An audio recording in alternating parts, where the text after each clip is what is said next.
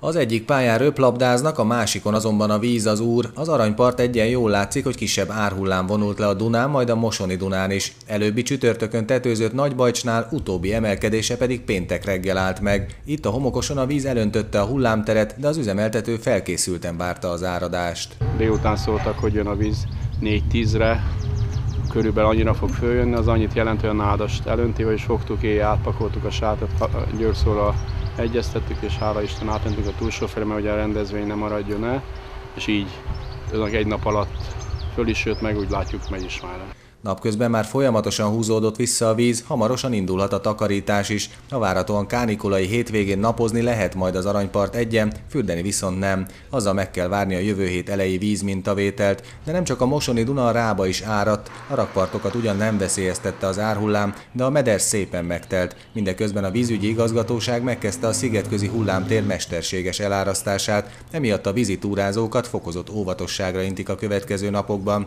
Szakemberek szerint egyébként a mostani mostani árhullámnak a közeljövőben nem lesz folytatása, vagyis a nagy víz várhatóan nem zavarja majd sem a fürdőzőket, sem pedig a sziget közbe kirándulókat.